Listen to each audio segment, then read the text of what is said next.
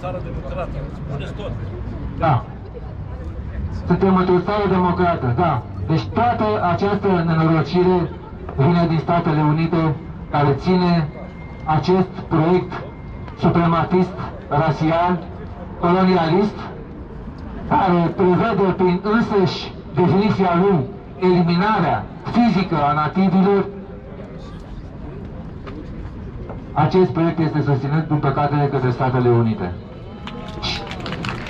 Asta e realitatea. Să dăm cezarului ceea cezarului. Free, free Palestine! Free, free Palestine! Free, free Palestine! Free, free Palestine! Palestina liberă! Palestina liberă! Palestina liberă! Palestina liberă! Vrem dreptate! Dreptate! Libertate! Libertate! Palestina liberă! Palestina liberă! Palestina liberă! Palestina liberă!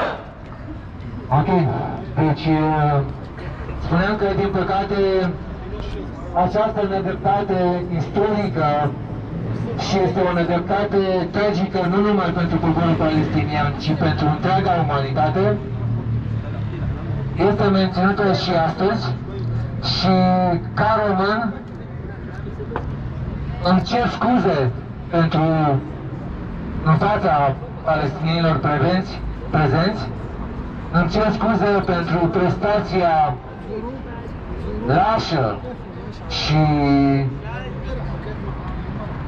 lașă și lipsită de responsabilitate a liderilor politici din România privind problema palestiniană.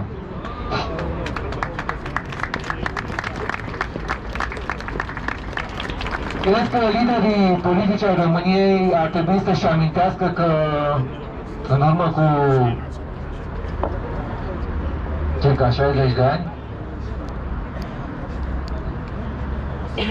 s-au mai conformat indicațiilor venite de la marile puteri. Și liderii politici de la acea vreme s-au dedat și la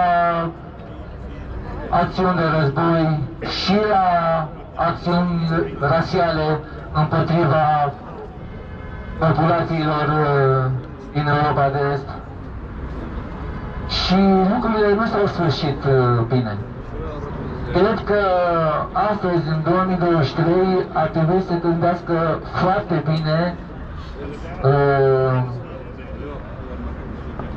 dacă este cazul să susțină și să facă ei înși să propage să, uh, acest gen de, de politică.